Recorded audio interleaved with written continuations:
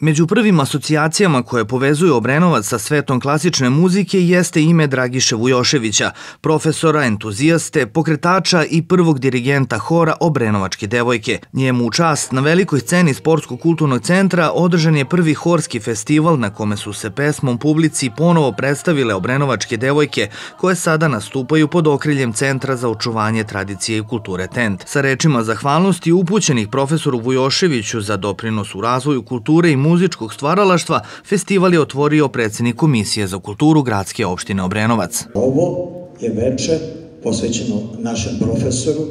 Ja imam tu zaista veliku čast i e, bio mi je profesor.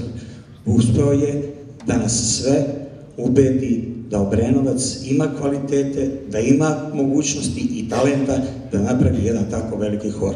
Obrenovačke devojke ponovo među nama, Obrenovačke devojke ponovo će biti najbolji hor u Evropi. Pokretanje festivala od velikog značaja za Obrenovac ističu organizatori u Centru za očuvanje tradicije i kulture TENT. Mislimo da je maestro profesor Dragiša Vujošević zadužio ovaj grad kao kulturni radnik, pregalac, pedagog, čovek koji je pobrao toliko sa horom Obrenovačke devojke, tolike velike uspehe kakve ni jedna organizacija kulture, a i ostale nisu zabeležili u ovom gradu. Podsjetiću, ako je neko bio šest puta najbolji u Srbiji, tri puta najbolji u onoj velikoj Jugoslaviji, ako je bio najbolji u Evropi, i ako znamo da je to iz Obrenovca, onda svi sasvim sigurno znamo da je to Dragiša Vujošević i njegove Obrenovačke devojke. Naš je dug, u ovom slučaju centra, a i grada, da napravimo i to smo i radili danas i to treba da bude kontinuitet i tradicija, dakle, jedan memorialni horski festival koji će nositi